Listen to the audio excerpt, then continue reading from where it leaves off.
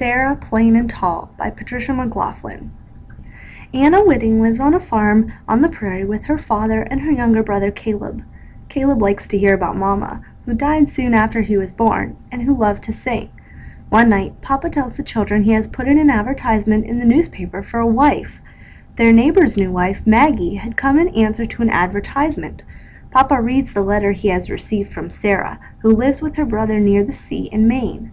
Papa, Anna, and Caleb write letters to Sarah. They find out that she has a cat named Seal and that she sings. Now Sarah is coming for a month's visit to see how it is. Sarah came in the spring.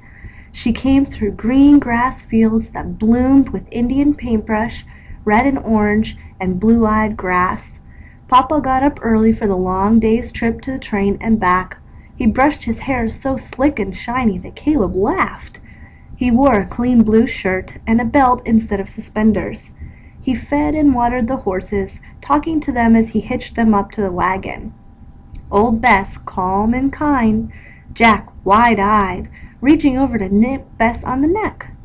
Clear day, Bess, said Papa, rubbing her nose. Settle down, Jack.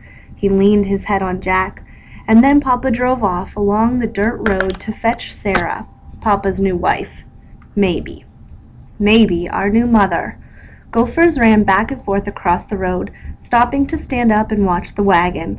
Far off in the field a woodchuck ate and listened. Ate and listened. Caleb and I did our chores without talking. We shoveled out the stalls and laid down new hay. We fed the sheep. We swept and straightened and carried wood and water, and then our chores were done. Caleb pulled on my shirt. Is my face clean? he asked. Can my face be too clean? He looked alarmed. No, your face is clean, but not too clean, I said. Caleb slipped his hand into mine as we stood on the porch, watching the road. He was afraid.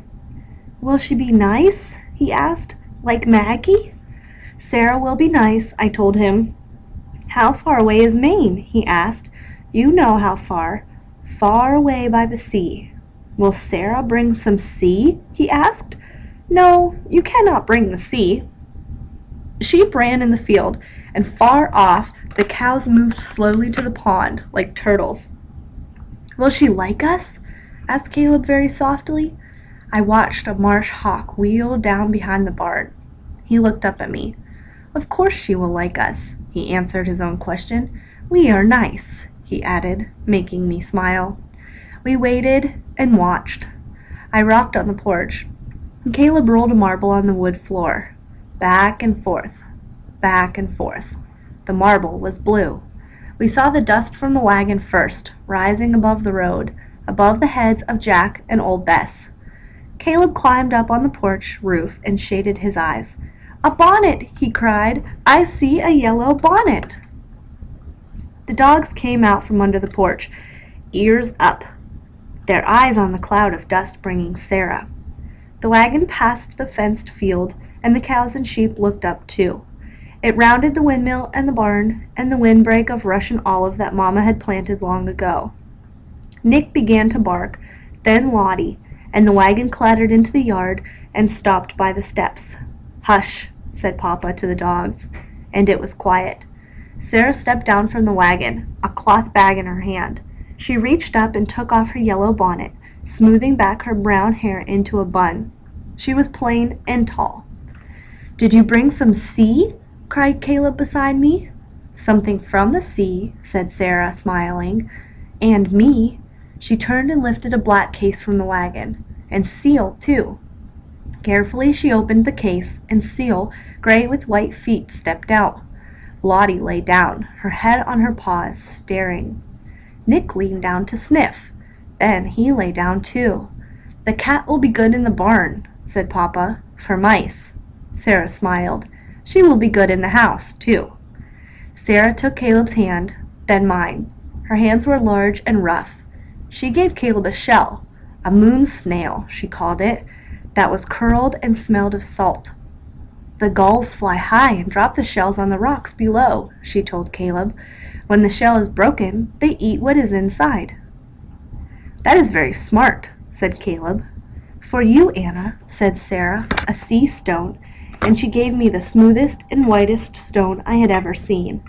The sea washes over and over and around the stone, rolling it until the stone is round and perfect. That is very smart too, said Caleb. He looked up at Sarah. We do not have the sea here. Sarah turned and looked over the plains. No, she said, there's no sea here, but a land rolls like a little like a sea.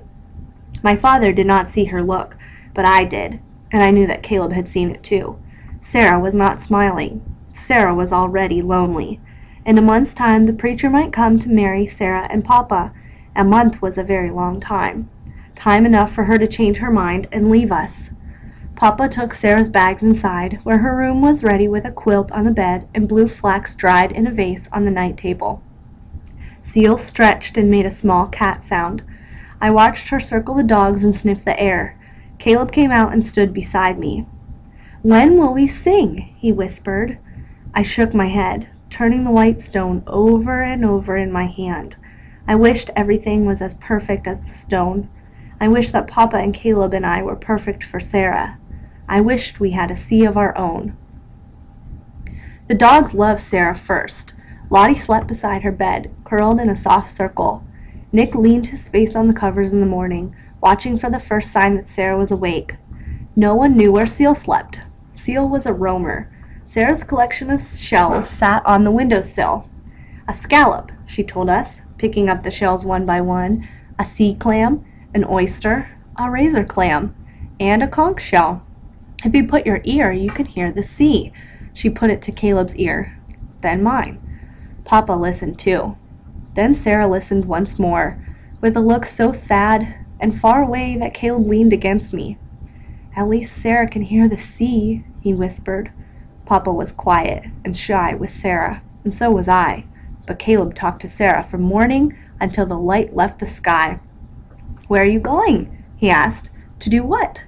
To pick flowers, said Sarah. I'll hang some up I'll hang some of them upside down and dry them so they'll keep some color.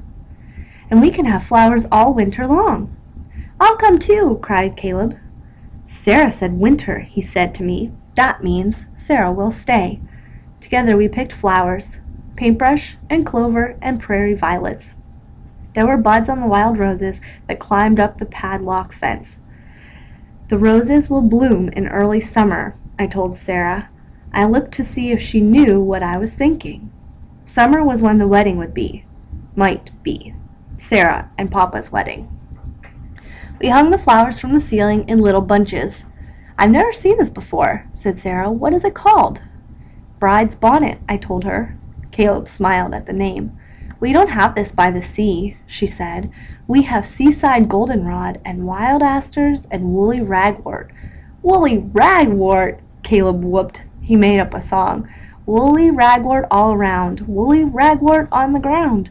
Woolly ragwort grows and grows, woolly ra- ragwort in your nose. Sarah and Papa laughed, and then the dogs lifted their heads and thumped their tails against the floor. Seal sat on a kitchen chair and watched us with yellow eyes. We ate Sarah's stew, the late light coming through the windows.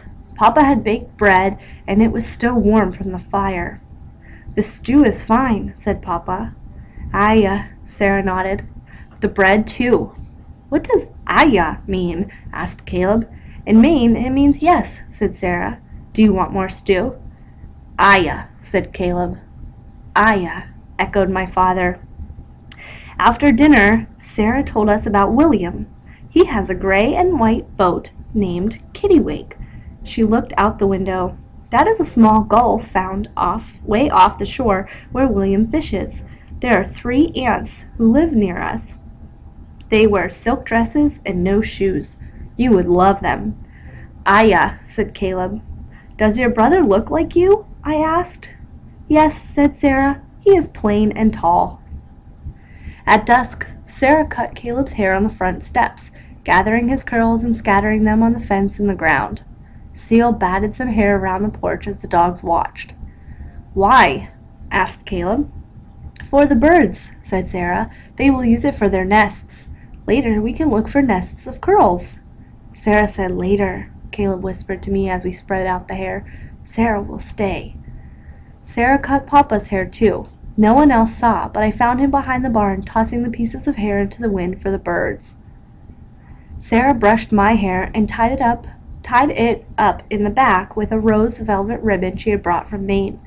She brushed hers long and free and tied it back too. And we stood side by side looking in the mirror.